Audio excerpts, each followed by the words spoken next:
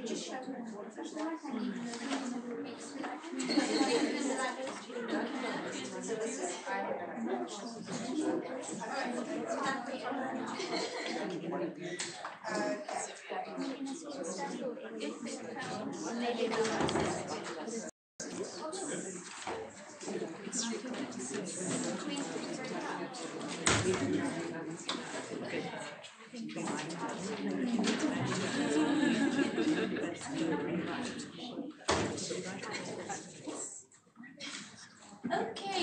good afternoon, everybody, and a warm welcome to the noon meeting this week. Um, I think we have colleagues from many different places here today, from the Children's Institute, from the province, from various health committees um, in the Cape Metro, so a warm welcome to everyone.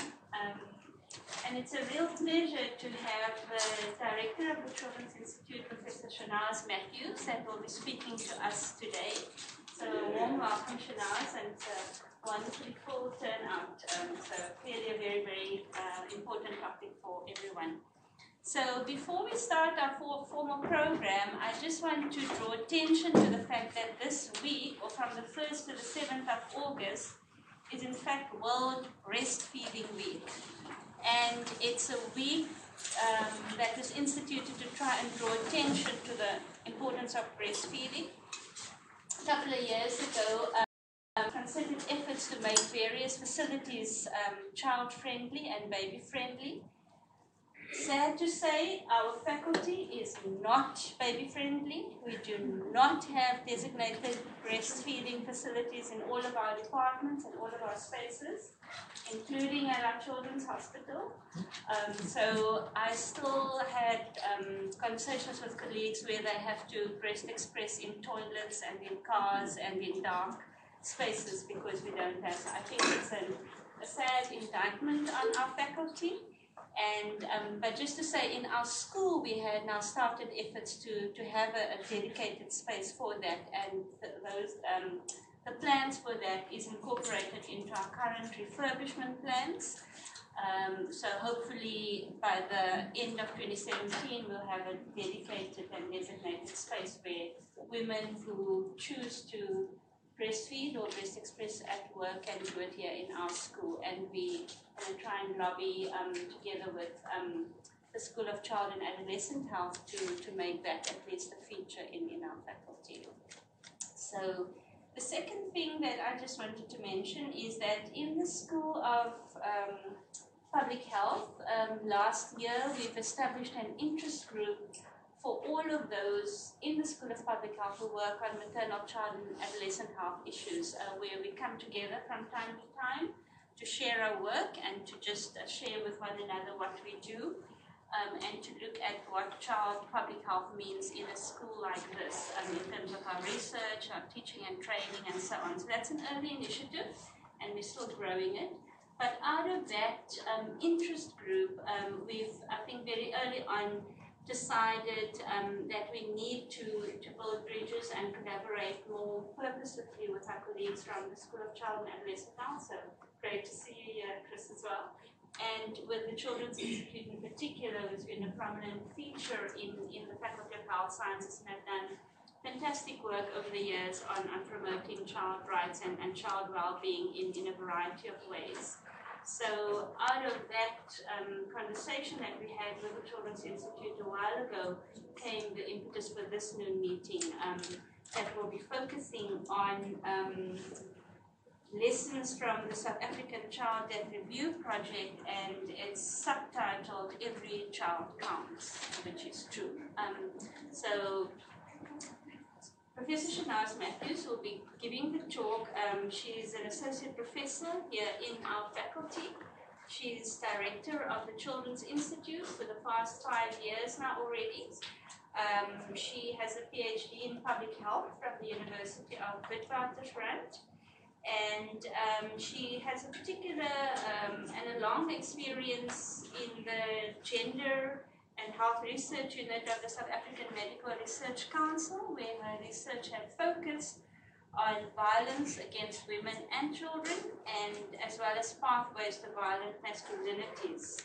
Um, so she's got a very long history of, of working in a rights-based environment on a variety of fronts, and now I think she's taken up the cudgels for looking at um, this very, very important and I think difficult and long-lasting um, issue that we've sat with as a South African society, and that is highly preventable child deaths. That's still a strong feature. Um, and by the end of this noon meeting, uh, four children would have died um, from preventable causes uh, in, in the country. So that's the extent to which um, our child death, uh, I think, situation is. So I'm going to hand over to Shanaaz, who will speak to us for about 35 minutes or so, and then we will open it up to comments and questions and um, any other issues that you want to raise. So welcome Shanaaz and thank you. Thank you, Manleen, and others in the School of Public Health for inviting me to be here this afternoon. Um, and I'm really, um, yeah, involved. I've got a number of people here today. So obviously, um, child mortality is a really important issue and very close to my heart. Um, before I start, I'd really just like to acknowledge my, my co-investigators, Chris Scott, who's sitting right in front here, and David Sear somewhere in the middle. But most importantly, Lorna Martin. Um, we've been doing work together probably for nearly two decades now, firstly on female homicides and more recently on child murders. Unfortunately, she can't be here today, she's ill, and I would really have loved her to be here. But we're thinking of her in, as she's recovering. Um, I'm going to just go straight into this, and uh, I probably need my bit of what I've got here. And I want to talk about child mortality in South Africa firstly. So we didn't meet our MDG target, and that's really important. In South Africa, still, in 2014, had more than 40,000 child deaths a year, as Manleen says, within this one hour, we actually have had about four child deaths. Our under mortality rate we clearly see has plateaued. From around about 2008, we haven't had much, made much of a difference in terms of reducing child mortality. And one of the big challenges is that our vital legislation has also been criticized for being quite in, being incomplete. And when it's time to unpack why we're seeing this plateau in under five mortality, it's very clear that we need to understand more about the causes of under five deaths we're not clearly understanding. Although we've got very good um, data systems in terms of understanding why children are dying in facility through our child PIP and our um, perinatal um, uh, identification program, it allows us to understand why children are dying in hospital and also allows us to understand some of the modifiable factors. However, most deaths of children actually occur out of hospital. So more than half of child deaths occur in communities. So what does that mean if we're not getting proper cause of death in those, um, in those instances? And we also have seen an increase of about 30% in our late neonatal deaths. So something is happening that we're not understanding, and I'm hoping that with the child death reviews, we're starting to get a better picture. One of my of work has been violence against children, and I'm not going to go through all of this. All I'm wanting to say to you is that violence is incredibly affects large numbers of children across South Africa and poses a substantial burden on the economic cost for the country. So across South Africa in 2011, about 238 billion for year. And that's staggering. I'm going to take you through a bit of a journey as to why we're doing child death reviews. So, so firstly, the context to that is that I did a national epidemiological study looking at child homicides in South Africa and looking at child deaths that happened in 2009 and tried to link mortuary deaths with police investigation to get a better understanding of what is happening to children dying and why they get into mortuaries. And I was particularly interested in fatal child abuse cases, but that's not very easy to tease out. We don't have the same system as in America where you can easily go to supplemental homicide reports and get to understand what's happened. So it's quite a lengthy process of identifying deaths and then get matching them up with police data. But what that piece of work had shown us was that in South Africa for 2009, we had just over a thousand child murders. Our child murder rate is more than double the global um, homicide rate for children. And that's really important because if we having this really high child murder rate, we've got to understand what's driving it. We also was able to tease out what proportion of children murdered were murdered in the context or killed in the context of fatal child abuse. And that piece of work showed us that just under half of children in South Africa are murdered in the context of fatal child abuse. Now we know every week in, in we, we read about these child murders and, and if the public's um, you know, and governments haven't got to do something about it. But the facts are there. We know that actually it's more than what we see in the newspaper. We could have a murder of a child, three murders a day. So we also know that children under the age of five are most at risk from fatal child abuse. However, in looking at these cases from mortuary to police, we see that they receive very low priority on the police agenda, very poorly investigated with poor outcomes. And there's also a lack of coordinated investigation. So your police would do their investigation, the mortuary would have their own uh, post-mortem report and often they don't speak to each other and that impacts on the outcomes of what we see in those cases and often it means that other children are at risk in families. I'm not going to go through all of this, but what I just want to say subsequent to that is what I did do was a review of international practices and what that showed us for nearly three decades internationally in first world countries that they do have child reviews and, and was very variable across different sites. But the bottom line is they were investigating child deaths very systematically, which we were not in South Africa. What we've also seen is that child uh, death reviews is not a new phenomenon in low and middle income countries. That the precursor what we're seeing with child death reviews has really been around maternal uh, death reviews and the African Union promoting this in 2009 in an effort to reduce maternal child deaths as well as um, child, uh, you know, maternal and child deaths very early on. But when we start looking at child death, uh, death reviews in Africa in particular, very facility based and often confined to clinical management and how clinical management can be improved. And what we do see in South Africa is that our death reviews are very facility based. So we have your child for instance, looks at and was implemented in 20, 2003 as early as 1999. We had the, um, the perinatal program. But these information systems are able to provide us with in-hospital facility deaths. And they, as I've indicated before, more children are dying out of facility and we weren't able to understand what was happening. So our child death review um, pilot was then implemented, as you can see, in. Uh, did I switch it off completely now? Okay. Implemented in 2014, and the epidemiological study we uh, published in 2013. So with the pilot, we had two pilot sites, one in Salt, at Salt River Mortuary and the other at Phoenix Mortuary, which drains Durban North. At Salt River Mortuary drains uh, Metro West. Am I right, David? Metro West. So if we're looking at what did we want to do with child death we wanted to understand how and why children were dying in our city. We wanted to also identify potential remedial factors. For me, particularly, I was interested in child protection, and we also wanted to look at some of whether there are potentials to improve health systems. And we had a lot of debate before we actually implemented the pilot, because I was interested in injury deaths, but really importantly, my um, the, the other uh, partners said, really said, we have to include all child deaths. And I think that was a really important decision to include all child deaths and not just injury deaths. Um, and for us, we also wanted to explore whether a multi-agency approach could make a difference. So the first thing was to set up a multi-agency disciplinary team to come together on a monthly basis to review all child deaths under the age of 18 that presented those two mortuary sites. And importantly here is the role of the forensic pathologist because they lead that discussion.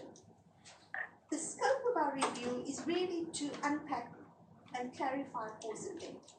And that's really critical because what we are seeing is a better definition of cause of death through our deliberations and we're not getting as many ill defines as you see in your routine data that's getting published.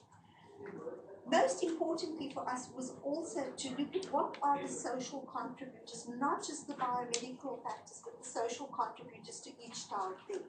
Not as globally, but each child, child death gets discussed and deliberated quite lengthily. And we also, at times, and most times have, but sometimes we need additional information, and our pediatrician will draw folders from Red Cross Hospital, or David will give supplementary information from other health facilities, or we'll ask social workers to, to get a, a report for us on the social circumstances. So we come together as a team and each one bring their own discipline and we deliberate based on that. And at the end of it, for us, the important thing is was this death avoidable? And are there potential preventable or remedial factors that we can draw on? So, what have we learned through the pilot was firstly, and this is really important. So, if we're looking at the numbers of death, we reviewed just over one year, just over 700 deaths at two sites. So, about 711. And in fact, Salton saw much, much many. So, as you can see, your uh, now I'm Can I just ask for help? Let's just get it back. Okay. Uh, Let me see. Technology. Okay. Let's go I wanted the Pointer. pointer. No one knows. Okay.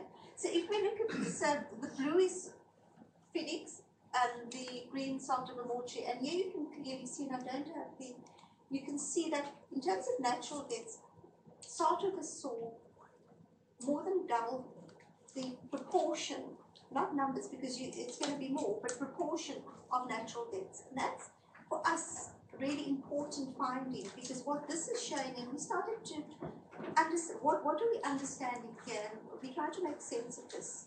So yes, in KZN, they do see more deaths out uh, in facilities. So they are seeing more in facility deaths, but it doesn't explain the big difference in numbers and proportions that we see in terms of in-hospital deaths, uh, at least in, in community deaths, because these are all in community deaths.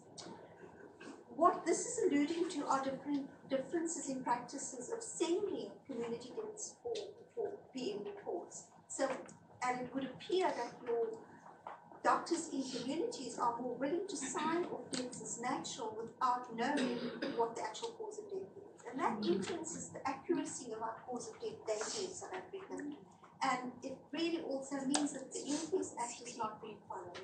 And that's a really important um, because it's showing us that practices are not adhered to. And it's confirmed by looking at our death rates here, where if we tease both our um, our overall death rate, non-natural versus natural, and then we also see the same kind of pattern emerging. I'm not going to go into this, but what we're clearly seeing here is that you know we're having higher rates within the uh, in the Metro West region simply because we're having higher numbers coming. Man is really interesting because what we are seeing is a different pattern of death based on the age of the child. It's Overwhelmingly, and I'm not getting the pointer to work, so I can't show you this. More than 80% of the under ones are natural deaths. And that's really important, and we're needing to understand what's happening there, what the cause of death is in, in order to be able to shift it. But as children get older, you see the pattern shift completely with non-natural deaths um, and murders taking over as the primary, as the cause of death. And one would expect that. But what's interesting here is because we often don't look at all children, we look at your under five deaths. And when you start looking at all children, you start seeing a pattern emerging where your, as children are in their middle years, five to nine, to accidental deaths. And this is telling us a very important picture of potentially reducing and preventing these deaths from occurring. What are the interventions that's required, these different developmental phases, in order for one to prevent these kinds of deaths from happening? So if we're starting to unpack, and again, I'm looking at under fives because we see lower respiratory tract infection comes out as your most likely cause of death here. And this is really important because if you're starting to look at your pattern and you'll see it's overrepresented in your as in your under your infant deaths. And this is really critical. If we're wanting to change the pattern and, and change what we're seeing in our plateau, we need to start understanding what's causing these lower respiratory tract infections to better, um, in order for children not to die. What we're also seeing here is child abuse coming out as your second leading cause of under five deaths. And I think what's really important is, and I'm not showing to you today, is we did a logistic regression model looking at um, your associations, and what come out was really your prem babies who are not in the uh, first month after birth, but actually after that, being discharged from hospital and then dying from lower respiratory tract infections. So really critical here is that we're having to, if we're investing substantially in getting your prem is to survive, discharge them home and they die shortly after birth, then we're not doing a good enough job, actually wasting money. And just to show you what I'm talking about is that 44% of our under of our infants deaths were, were associated with prematurity or lower respiratory tract infection. So that's a huge burden. Just an example, four-week-old presented as a SUDI. Cause of death was a lower respiratory tract infection in a premature infant. The baby was born at 31 weeks, ventilated, received kangaroo care, spent a month in the neonatal ward. You can calculate what that cost the province. Had an 18 month, 18 year old mother who was a drug abuser, counseled by the social worker, they had a plan in place. The child was discharged into um, mom's care with the help of granny. Two days after discharge, the child had died. So here you clearly see the intersection between not just the biomedical but also the social conditions. And if we're not supporting and not looking at how we improve where we send children home to or provide them with the necessary support, then we're not going to shift that burden. What we commonly see, and we've started labeling this fed bed dead because we see this over and over again, and particularly in winter. Mom says she fed the baby, put the baby to bed, and the next thing she finds the baby a few hours later dead in bed. So here we have a two month, and this particular baby, cause of death was a combination of lower respiratory tract infection and being dehydrated at autopsy. But what is really important here is that we've had this was a well baby, growing well. There were no indicators, no risk factors, not HIV exposed, yet the baby had died. And this is not a sit step, this is a lower respiratory tract infection. Taking on a bit, a bit of a different journey, and I don't know what my time is up, we okay. Pattern of injury deaths is really important for us to understand. So, so I think, you know, from natural moving to injury, what we're clearly seeing is in our data set, we see an overrepresentation of homicide deaths. And we're seeing the leading causes of injury deaths, your road, your homicidal deaths as well as your road traffic injuries. And when we start looking at abuse versus non-abuse, again, it follows the same pattern we saw in our national stats. So we're not seeing anything different with just under half of children killed in the context of fatal child abuse. And in our pilot, we're seeing exactly the same bimodal pattern of younger children dying as a result of abuse and older children in the context of interpersonal male-on-male violence with males overrepresented in the age group 15 to 17. And this is often the missing link we're not looking at these young men that's actually being killed and why are we not preventing these and what are our interventions that's in place to prevent them from taking on this violent behavior at a very early age. And this starts the kind of trajectory that we do see with male on male interpersonal violence as men get older. One of the things that we once again confirm with our child death review is the huge problem of what legally is for concealment of birth. And I want to call them murders. So we saw 20 babies who were abandoned or killed immediately after birth. and end up in a mortuary. But we know this is just the tip of the iceberg because there are so many hidden deaths like this. They are found in dump sites, in toilets, in rubbish bins. So these are babies who no one wants you to find. And we are only finding the tip of the iceberg, I'm pretty sure about it. Yet South Africa has a very liberal, um, I'm sorry, um, seeing faces, yes. So this is what we see every month. Here we have a full-term baby who presented with a slit throat. Baby was found in the toilet by the grandmother. Um, the afternoon she comes from work and she finds this baby in the, bathroom.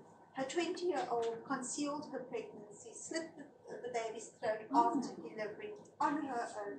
SAPS investigates the case as a concealment of birth. It's actually a murder. It's not a mm-hmm. concealment of birth. But most importantly is that automatically they won't say, does this mother, the young mother who's delivered this baby, does she need to be her psychiatric, mm-hmm. uh, does she need a psychological assessment? They don't think of that. And it's so important that we start understanding that it also intersects with mom's mental health. And we're not addressing what's happening in that uh, scenario. What's also critical here is that we've got to understand that South Africa, we've got a very liberal abortion legislation. Why are women still finding the need to dump live, you know, this is a live birth that was killed, but others are dumped, and babies are being died from exposure. So the critical question is, although we've got a policy in place, while women are accessing abortions, we're also seeing women um, accessing misoprostol, and we see that all the time. So they use these tablets to deliver, posing a risk to themselves as well. And I think it's really critical that we start exploring what is happening here. So I should speak to Women's Health. What has been very successful is because we, we've started alerting forensic pathologists around the need to report non-accidental injuries that are completing Form 22s. And that's the first. Because if we're looking at what social development has on their registers, they never get these cases of fatal child abuse. So other children and families are never investigated. And when a child dies in the family, all the other children are at risk of similarly dying. In, in our pilot here, we had 50 cases of natural deaths. And just to give an example, that we sent social services to investigate. So they would ordinarily be just closed off as a natural death. And the question is, was was the child's care compromised, contributed towards the, the child's death? Only 15% of those families were actually known to social services. But after an investigation, 28 of those cases were confirmed as omission of care cases just to say, and I'm not going to go into this in detail, but the co- collaborative investigation also means that you're able to get outcomes in cases much faster. And here's an example of within seven months of a case going to high court and getting an outcome because you work together collaboratively. There's also the potential to prevent further deaths from occurring. And I'm not going to go through all of this, but just to say, here we had an eight, eight baby who died of gastro. And when we referred this case out, our concern was whether there was the potential that this death could have been prevented because the mom didn't seek medical attention. Mm-hmm. And with the diarrheal death, the child could, if the baby had received medical attention, would not have died. But what became very clear is that this family was known to so- social services for five years prior to this baby's death.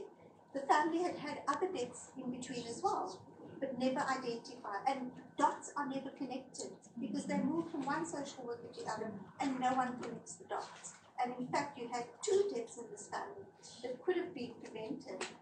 Um, the other children were removed from other care. But the point is that these deaths should never have happened because the family was known to social development. And, and I think this is what we're struggling with as the Children's Institute. How do we with a system that's not working and children falling through the cracks like this, what is our responsibility? So if we go and yeah, looking at here, I think we're doing okay. So in terms of lessons learned, we've certainly learned in terms of our natural deaths, interviews with families reveal um, really important information. It tells us more about previous illnesses and we can bring map all of this and put them together and able to start seeing a different picture.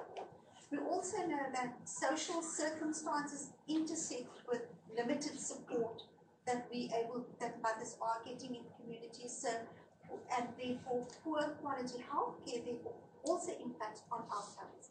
And we deliberate quite extensively with its health system failures or not. Hey, David? We every month, we hope so. And the challenge is how do we feed that back into the health system to make a difference? We're trying to figure out a way of doing it smartly in order also not to be blaming individual practitioners out there, but to say how do we take out bigger lessons and improve services at that level. We've also seen definitely identified increased vulnerability of infants at risk, like HIV exposed babies, low birth weight babies, as well as preterm as, a, cohort that's really at risk. Suboptimal community based healthcare comes up all the time. So, if our community based healthcare was of a better quality, we might have been pre- be preventing a number of deaths we are seeing. But one of the big concerns for us is that sudden unexpected deaths in our communities are not always sent for autopsies, and that's not practiced necessarily. And I think it's really important for our colleagues to understand that if you have not seen a child and you don't really know what the cause of death is, you shouldn't be signing it off. In terms of injury deaths, I've spoken a little bit about abandonment, and in fact, it should be called infanticide. And there is a need to strengthen maternal and community mental health services to identify moms in distress early on. We talk about mothers, and I think we're missing the point that there are fathers in the picture as well. And how do we bring fathers into the picture here? Because we keep on saying, and we place responsibility on the mom when she abandons a child. But we think we need to understand more about the context of what's happening. So there's probably some qualitative work that needs to happen to understand what's happening in those contexts. To, for, for a mother then to abandon a newborn um, and then the child dies. Fatal child abuse, I personally think that what we are seeing here is just the tip of the iceberg of what's happening in the context of child abuse in communities. We also know that children under the age of five have very limited contact with people outside, and therefore the problem of child abuse under five is incredibly hidden. Children don't have the ability to be um, telling others what's happening to them, and there should be more vigilance in communities, particularly in primary healthcare settings, to pick up signs and symptoms of, of child abuse at a very early age. Neglect deaths are actually, I think, for me, the big concern because it's hidden in plain sight. The children are often seen at clinic. Weight falls off and no one notices this, and they go back and back to the clinic and the child dies. And I think it's really critical that we start identifying and start looking at what are the key indicators that we should be looking at that could potentially be telling us more about child neglect. We have found with our CDR process that we're better, we're able to increase our accuracy in identifying the underlying causes of death. I think that's really critical in shifting the burden that we're seeing with child deaths across the country. Clearly, we know teenage interpersonal violence is a critical area intervention and for prevention. And I think it's not receiving enough attention in South Africa.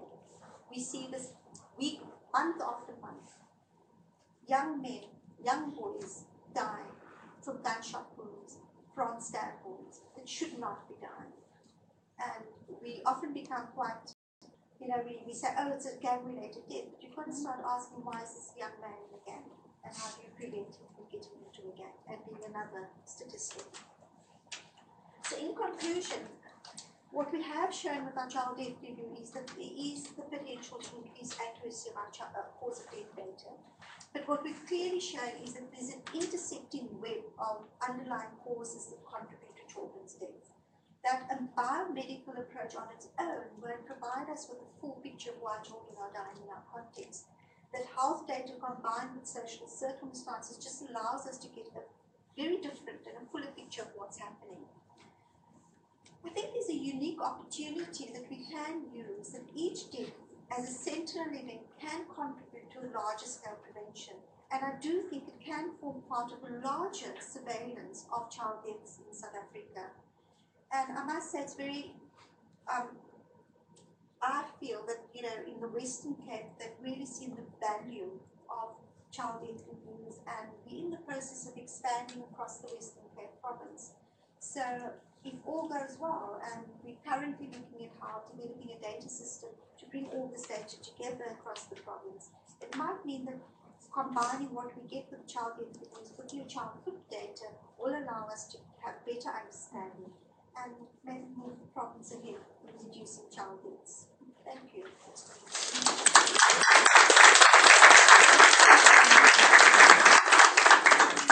Thank you so much, Naz, for, for that presentation. I realized I forgot to introduce myself at the beginning. Uh, my name is Maylene, and I work in the Health Policy and Systems Division in the school.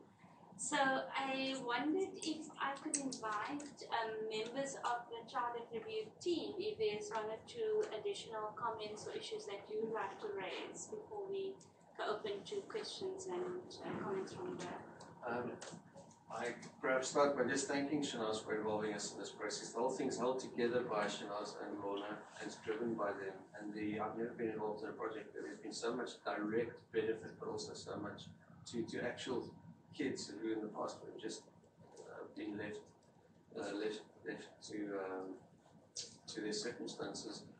Uh, to, to have been involved in such a thing has been incredibly uh, powerful, uh, sometimes devastating soft-minded pediatrician, you can't believe the kinds of things that, that you've seen, some of the things that, that have been described. So, first of all, great tribute to your leadership and your uh, uh, passion for the, for the well-being of children.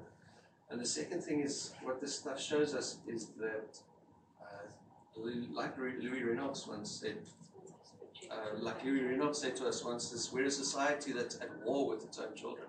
That's really the feeling that you're left with after all of this is put together. Um, so, and, and it's so broad and it's so big, and we thought we were going to unearth a couple of child deaths and maybe find one or two children who've been abused, and we've punctured a, an abscess which is bigger than any of us could have imagined, I think, and it's in terms of healthcare failures, in terms of public health um, problems, in terms of inadequate breastfeeding, in terms of all of these things. It's, it's really just data and data, and it's, it's really been a boil that's needed to be launched for a very long time. So I think it's uh, Now, just a staggering amount yeah. of information. staggering amount of information. The nice thing is if we are getting PhDs and master's thesis out of it, which is also great. positive uh, spin-offs are always good. Uh, David, did you want to add? I think that was great, Shanaaz. But maybe the one thing that didn't come out because I think you're presenting to a health audience is the other players as well. Uh, we're getting the prosecuting authority to immediately pick up things. The police come every to every meeting with all the dockets. It's all really there, and you can see things are moving, which I'm sure didn't happen before. The inquest magistrate as well has helped us enormously in deciding on what should be done with cases. So all there- there's it's a broader team, and they're And, all and as important. I think the one thing that that's for me has been incredibly valuable is just team getting to know each other. And when there's a child dead, that's you know you'll see the emails floating. So you'll pick up the phone and you'll get your forensic pathologist with your detective, and everyone goes to the scene. And it just means that right from the start, you have the investigation happening the way it needs to happen. So you're right, David. And as I've said, you know, we're getting such incredibly good outcomes with the prosecutor that's really passionate about what she does. Thank you, and I think that just illustrates the, the strong um, possibilities that come with good uh, intersectoral collaboration, but also involving all members of the health team. I don't think we often think of pathologists as part of our health team, but they're often at the forefront the description that gave us all such a visceral reaction. They see it in, in its rawest form. So I think um, paramedics and, and pathologists are not often people that we think about um, and how they are confronted with the I think the harsh reality of what you described. So Are you other paramedic or pathologist? Pathologists, and we've got a few pathologists who obviously have contributed substantially to this body of work. So. So yeah, well, I think uh, thanks to you and, and the role that you play. So let us open it now to, to other people and we'd also love to hear from, I think we've got a number of members of, of various community committees here. It would be wonderful to hear your perspectives as well. Um, so yeah, so anyone, comments, questions? Um.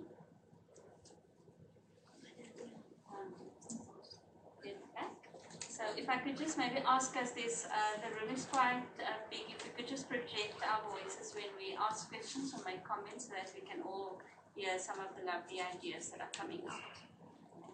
Um, hi, my name's Carmen, and first of all, I think thank you for this presentation. And I think everyone will probably agree with me, it's quite an emotional topic for us to discuss. I just have, um, I think, two questions in, in, in terms with reference where you spoke to the violent deaths of, of, of, of our young ones. Number one is that we've recently heard about this young five-year-old that was taken and murdered during the week. We heard that um, they found her body. And together with that, in the media, it came out that there was a call for the premier to launch a commission to investigate these the death of children and make it a priority. But what has come out of it is that she has refused on the grounds that it would be too expensive or costly to, to implement such a commission to investigate um, these deaths. And I just wanted to know what your comment or your view was on that. Because I think what you presented is something that cannot be measured in monetary value because I think the price that we're paying as a community at the end of the day is much higher than the tax that we pay, if, if you want to put it like that. That's my first comment. And then I have a question in terms of the, the definitions used. So you refer to natural deaths for children under the age of one, under the age of five. And you also mentioned that they didn't have any previous illnesses. There wasn't any accidental death in that group. So I would just like to know in terms of what would then be constituted as a natural death for a child under five years. Because I think I'm just a bit confused in terms of that. Thanks. Shall we take one or two more comments? So maybe at the back, thank you. Morning, everyone. You know, we, um, I'm, I'm no Windai, coming from Guguletu Health Committee. And it said that also Guguletu was mentioned, and yeah. But it's good to have information about all of this. You know, when I was coming to work, I'm coordinating a CSS project, I'm working for a city just for a while. When I was taking taxi this morning, one girl rushed to the taxi that is staying in the street behind my mother's house and said, You know what, Snowy? One of the twins that is six months old died just five five o'clock in the, in the morning. You know, the mother was drunk yesterday because it was grant whatever. You know. So what prevention or uh, what intervention can you come in? Because it's good to have these slides and all this information, but it must come to the level of the community, knowing all these stats and you know all this information, so that the, at the end of the day, information we know that information is power. So that at the end of the day, even the street committees, you know, can be involved in this, you know, stats of mm-hmm. database of the children that are dying. It's it's become a common thing in our in our in our areas now because of the carelessness of our daughters or whatever. But what I want to propose, yes, you called us here because we are involved as the health committees or whatever, but how can this information go straight to the community? Thank you very much for that very important, I think, issue that you raised, that it's fine to do things in an academic environment, but how do we link it back to communities?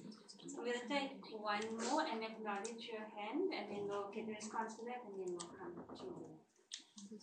Thank you for this opportunity that you give to me. My name is Nomonde. I'm also coming from Guguletu on the nutrition side of the food gardens. I don't know whether it's a concern or it's a question. But it will be judged by the people that are listening what I'm going to read. I picked it up 2009. There was a statistics that was released, showed is 1,018.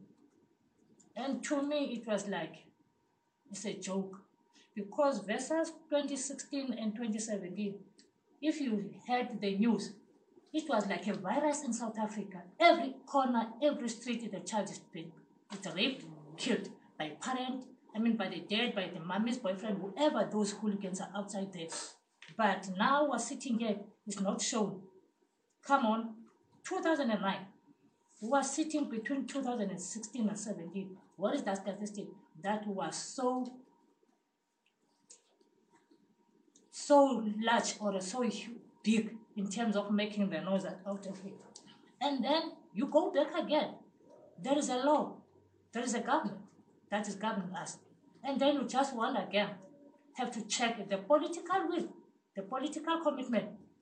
Look at South Africa, are so-called a rich country with many resources. But go to Zimbabwe, we perceive Zimbabwe as poor. But look at the yellows. There's no rape, there's nothing, there's nothing. But look at South Africa, so-called was just floating in an olive oil. No one is using water in South Africa to bath. You're just taking your olive oil. The way how it's so rich. No one is, is eating the red meat here. We're all eating the oyster. So let's check and understand the political will and the commitment of our government. Let's not be fooled by our government. And again, go back to our constitution. Our constitution is so hallelujah, thy holy, being praised, failing the poor people. Somehow you can read in our constitution, it still favors certain people. If you've been protected, privileged in the past, somehow between the two thin lines, you are still covered and safe. What now we were saying at the back, it's good to be here, to be informed, to understand, to go back to our communities. Yeah, guys who are coming from this, telling our councillors, these things they need to be out there to the victims. As I'm sitting here, I don't think I'm next to me, she's a victim or whatever. Maybe it's one in the room who's a victim of the situation that is happening outside. And then go to the education level. There is this mommy or a teenage mommy there on the slab. She became pregnant and then she couldn't take care of the child and then decided to throw, throw to the child. I think I'm in the right platform now because maybe before I wasn't in the right platforms whereby I've been vocal about this. I think the education of the becoming pregnant, it must involve two parents, a teenage mom and a teenage father. Because when my girl became pregnant, it was not alone wherever he is. So that education process of going to the clinic, they must be there, both of them, Mm-hmm. making understand. Because I think those teenage mamas, they feel the pressure. Okay, I'm alone now. It's a burden. Because this my boyfriend, he moved to start another life. Because now I'm no longer having a figure, I'm a balloon girlfriend. So I think that education, it needs to be taken. The statistics or the record, they must be there. No matter where is your boyfriend as a teenage man? Is he? And they need to be called. Let's walk the journey. If I'm pregnant, she must, he must take the responsibility of being also pregnant. Then someone will keep the situation, the frustration. Yeah. Um, we can, we can leave it. There are some uh, incredibly important issues and some very strong advocacy points and some very poignant issues that we all need to consider. So thank you so much for, for raising those issues. So Shanaaz, I'm going to ask you to respond to those three and then we'll take I actually want to put the, the question on natural gets into um, David and Chris's, uh, maybe you want to respond to our definition of natural Well, gets. yeah, they, we have pathologists here, they know all about this. Chris.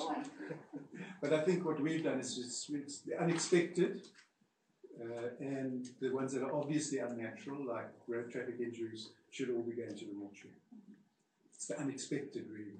So if you've got no reason to believe that child should die, So are you saying that um, you didn't know that there was an illness um, and now the child had died, but there's no obvious um, unnatural um, injury or, or any kind of obvious signs of abuse and so on?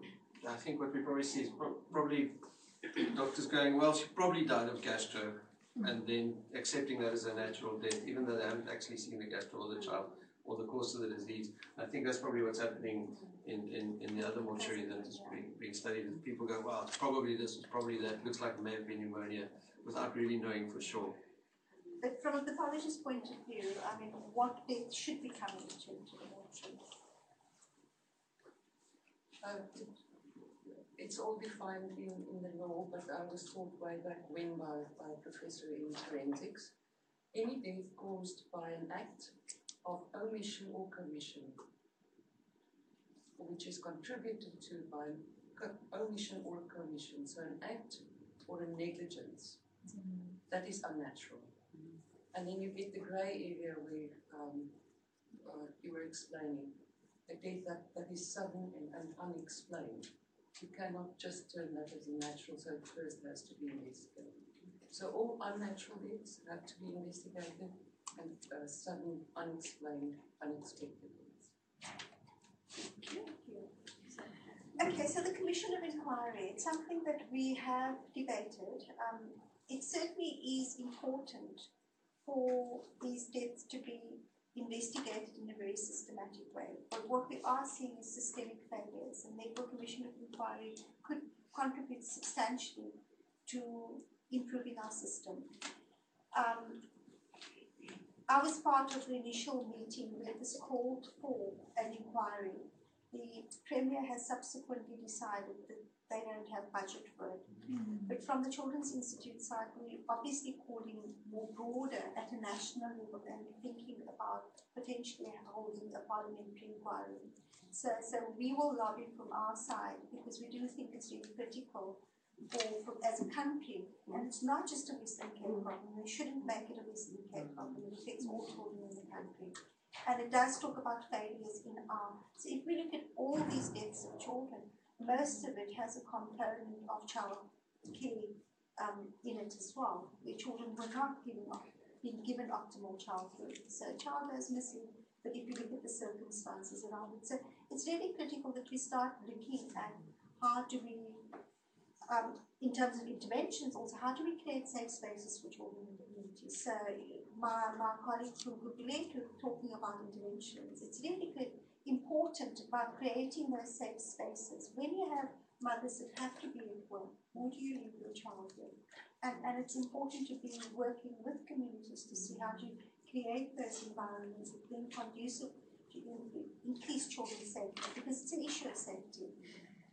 I know there's a lot of questions around community interventions. I- I must confess, we haven't been good at getting all this information out to communities. We're a small team to work together, but it is about working with others to get the messages out and how do we do that better. So I take your point, yes. I think that's perhaps an issue for all of us, whether we work in the field of child health or not. Um, how do we create collaborative engagements between academic institutions and the very, very important community counterparts? Um, so it's something that we need to strongly consider because we don't always hold the, uh, the I think we, we're not the sole holders of knowledge, we're not the sole holders of solutions we cannot do it without partnerships. Um, so we definitely need to think about that quite critically. Um, so let's go to another round of questions. Okay, um, my name is Fundisa Kirido. I work with Leslie, Health and Human Rights. We've got a project. I think all my colleagues that have just spoken from Guguletu, we are having a project um, in Guguletu funded by the EU. We're just starting in, in Guguletu and in the other areas they've started already. Um, one of the reasons we came here is to just to get into some dialogues about child protection since we've got a lake, an area that speaks to child protection, we're going to be developing a health um, child protection forum Guguletu as part of the EU project. So uh, that's also one of the reasons. So I think this presentation is really building some capacity in terms of you know what we are just about to do. And also, you know, in, in coming to this session, because we just saw, you know, every child counts and we're looking for stats and, you know, how big is the problem, especially in Guguletu. So just a, just a snippet of what you've been doing in Guguletu. But yeah, so I think it's very important, you know, when you start something, just to have a little bit of background into how big the problem is in the area. So we want to be part of the debate, and, and like we said, we're going to be having like a child protection forum in Guguletu. But now we're becoming a little bit scared because no health is not working together, the police is not working together, and as well as social development. So that is the problem that we're getting into already, that we know. And you know, because of the other lessons, when we also have like a peace building where we want to just to get you know the police also coming to party. So we definitely want to consider them when we're running all those child protection forums as one of the key people, especially in Guguletu. I know they're running away with stats like you know like anything else, and but we will try and just to incorporate all those things while we move moving forward within the program. But also, I think you know when we're having all those meetings that we're sitting in, maybe you also want to uh, just because I don't want to say we're going to be picking up a lot in Gulet because the, my colleague sitting next to me, she said one of the dogs that was, scratching the bin and last week and she found the dog found a baby that was still alive and those dog pulled the baby in front of the somebody else's yard and you know these are common occurrences in Guguletu that you know shockingly we don't want to think about that but we're going to uncover a lot of those things. But maybe if you can be of help you know within the institute maybe we can you know give some information back you know the information that sometimes is not reported very well because we're going to be training about 30 police um, child protection for 30 people are going to be, you know, spreading out in parts of the community. It is a private project, I must say, um, but we're just hoping to uncover quite a lot of those issues and bring them to the fore. You. Thanks very much. And as our colleague at the back said, knowledge is power. Yes. And we look forward to seeing what's going to happen with the pilot project. This is one of two points that I want to raise from the discussion that had come out. Clearly, it, it needs, um, I think David spoke to the power of intersectoral collaboration, and our colleague in the front had raised the issue of, of a number of different sectoral issues. But I also just want to remind us that a number of the mums that are struggling, that are so vulnerable, are still by definition children themselves. Um, so they have the issues, and I I, I understand our, our gut reaction to, to some of the, the issues that you raised, but I wouldn't be so quick to vilify and judge the mums because um, in order for a mom to, to do that to a baby or a person to do that to a baby, it speaks to me of great vulnerability on that individual's part. They, they need help, they need support, and so on. So I think um, we, we must also look into context as to the the, the situation for that person that arose that that resulted in them uh, perpetrating that, that deed. So, so I think we must be maybe a little bit um, gentler uh, in our verification of, of the moms um, in the situation. Um, so I think we've got time for one last question or comment. So Emma, so I'm going to allow the last two and then ask response. So Emma and Apulegia in the front.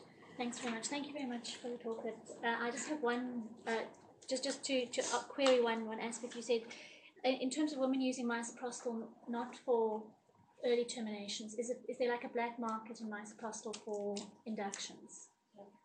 We're clearly seeing that. Has, We're seeing the ability to buy it over the internet as well.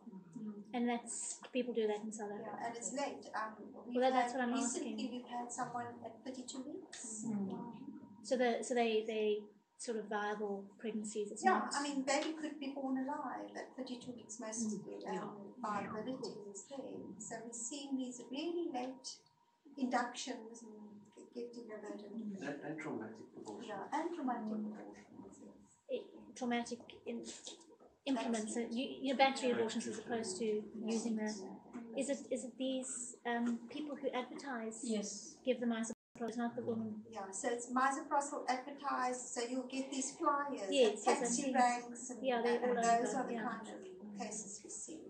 Okay, I didn't know that. Yeah, so there's a huge market for it, I think. But we've also got a a system where they moms could be accessing legal abortions and on. So No, no, no. And then they're given. I mean, they they're handed the drugs. Yeah. Okay, thank you. Okay, so um, there's lots more hands. We only have two more minutes. So I'm going to allow the person, and if you have any other issues to raise, to raise it with Shanaaz or the team afterwards. And it sounds like we need to have a follow-up seminar um, on this particular topic where we dedicate our time to talking about ways forward and potential solutions. So uh, you can have the last comment or want, question. yeah. Um, she just asked about the misoprostol. Sorry, I'm Estelle Matthews. I work in the Klipfontein Management Substructure, also a trainer there. And the issue the doctor mentioned that um, she is particularly said women's health, right? I work in women's health realm. I do training, termination of pregnancies, and she's asked about the misoprostol. Those are the doctors that we see, like Dr. David, but you never find the Dr. David because it's a whole syndicate. And um, department has spoken about it, like with Maury Stokes, what they've done.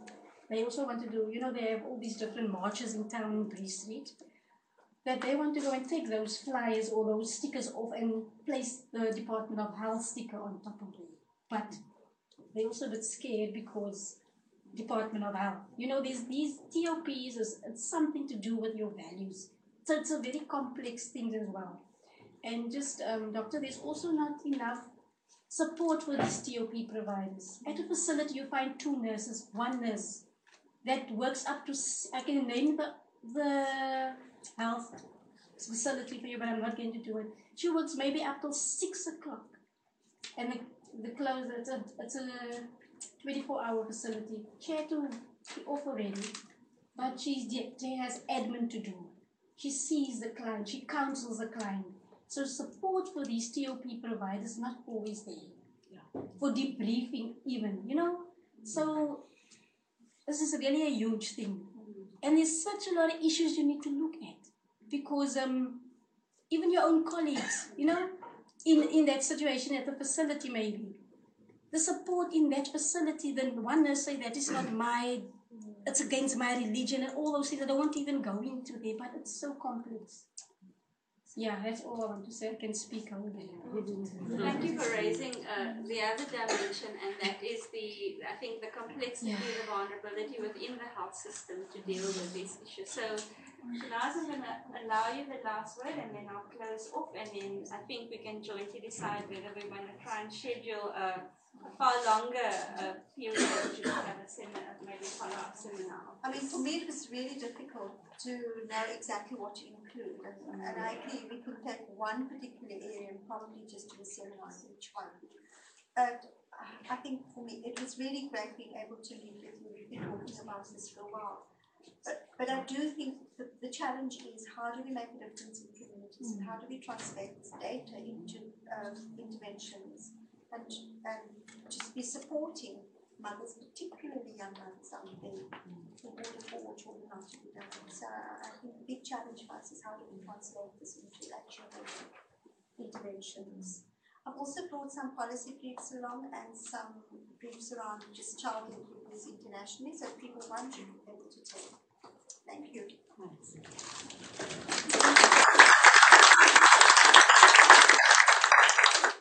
Before we break, I just wanted to say thank you to everyone for coming and for your absolutely valuable contributions.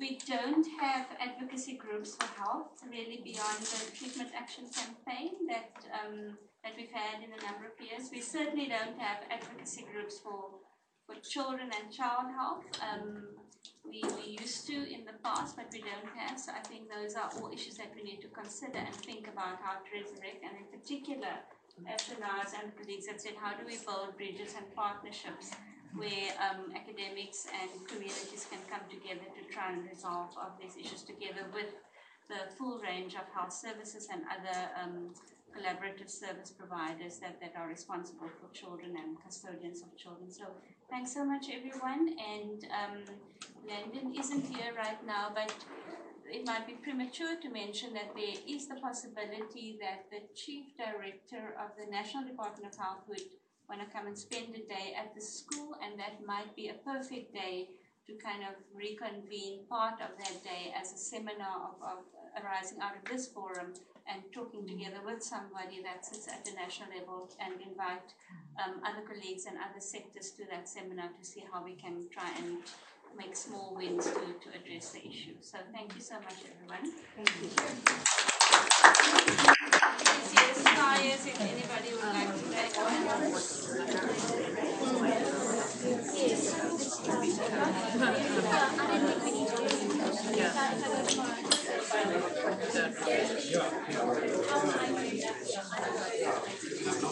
Just to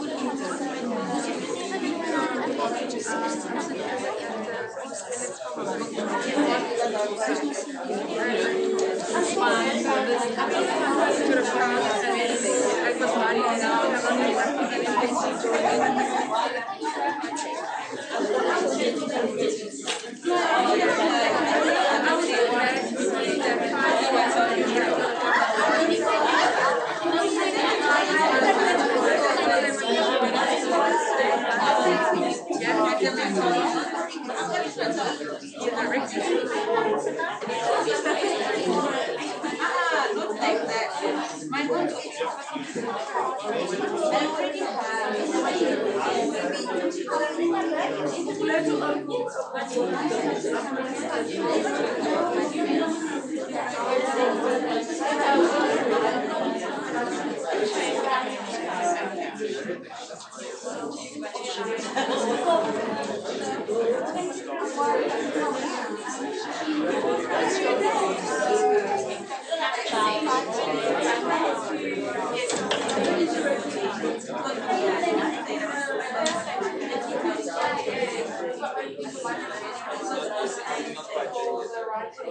Oh,